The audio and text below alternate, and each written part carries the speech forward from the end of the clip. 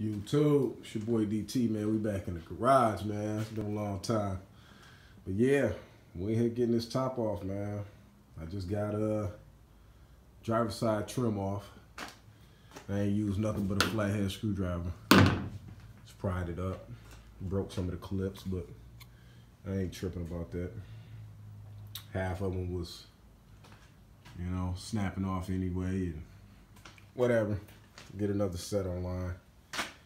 They ain't cheap. It's like $90 for the kit, but whatever. They probably got to be replaced anyway. But yeah, I'm not seeing I'm not seeing no major rust, man. Very surprised about that. Very surprised. But yeah, I'm gonna go ahead and cut you back on once I start working on the other side.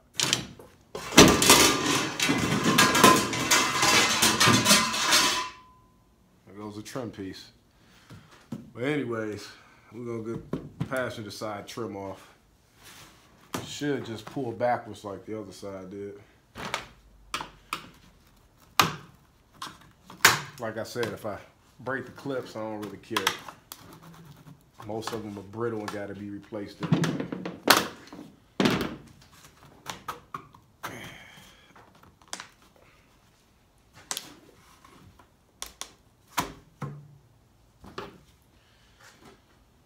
So yeah, man. It's been a long time since uh, I've been back in the garage, man. Had a lot of shit going on. Had to rebuild the motor of my wife's car. That took like two months.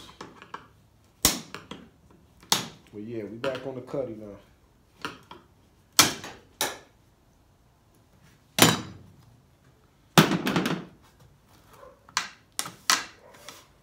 The vinyl really wasn't that bad.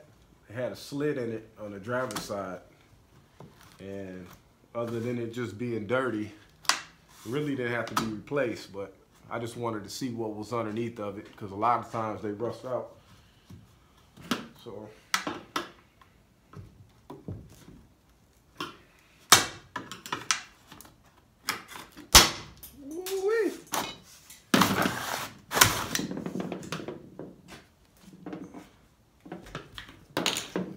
Yep, yep, yep.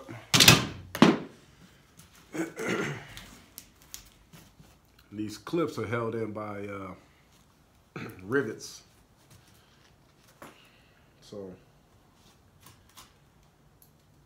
yeah, I don't know if you can buy the new ones and just snap them on over the top of the, the old rivets or if you have to re-rivet re-rivet the clips on.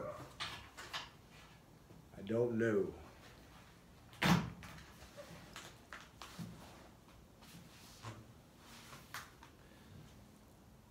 There's a uh, channel on YouTube, G Body, G Body Garage, I think, G Body Classic Garage, something like that. But he's got a whole informational video on the different tops, hard tops, soft tops, you know, the trim pieces that you need and conversions. So you can check that out too. My my video is just basically the demolition of a top.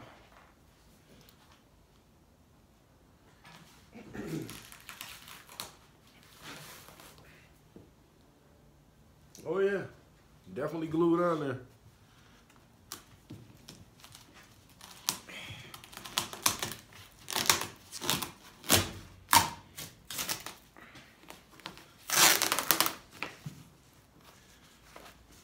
But I'm surprised, man. It ain't it ain't no rust. That is crazy.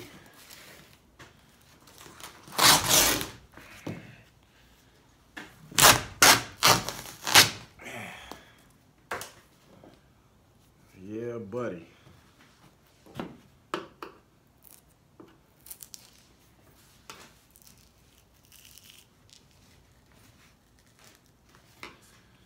Probably, should. I guess it don't really matter.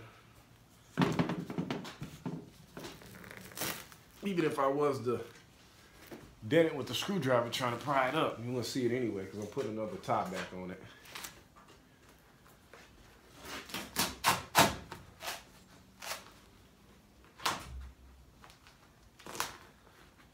Ah. there seems to be another another plastic piece underneath here. The vinyl comes down and it tucks underneath.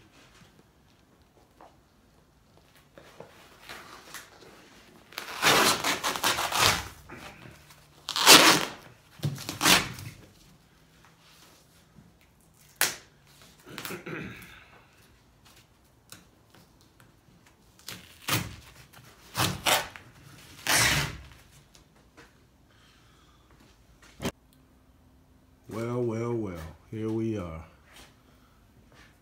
Just finished tearing all the vinyl top off.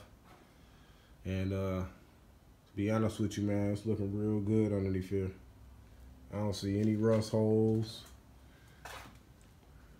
Not even on the inside of the trim piece for the uh, quarter windows. Usually you get like a, a rust spot right there in that corner down along the bottoms. It's nothing.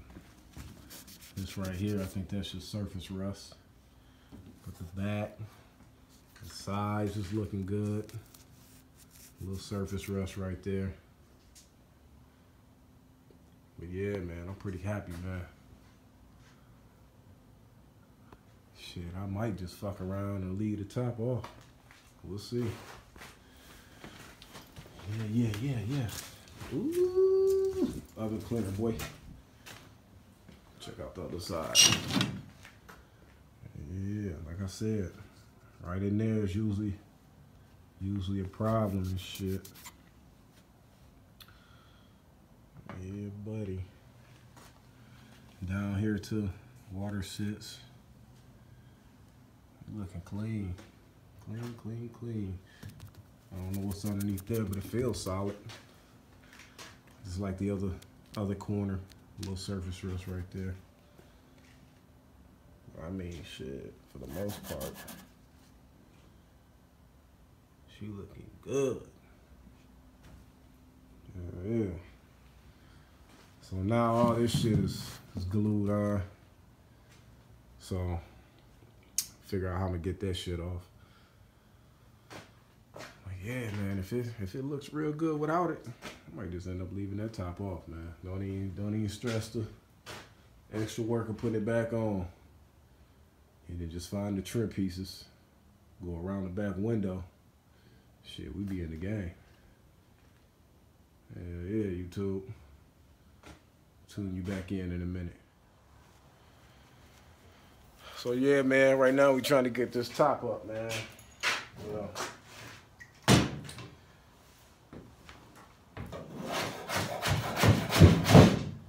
Taking a paint scraper